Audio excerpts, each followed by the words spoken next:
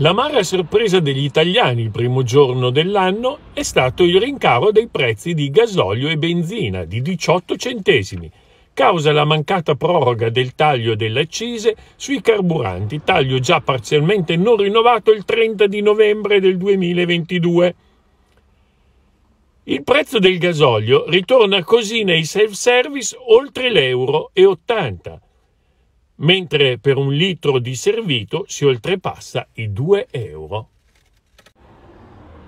L'effetto principale sarà l'aumento dei costi del trasporto su gomma, con conseguente aumento dei prezzi delle merci.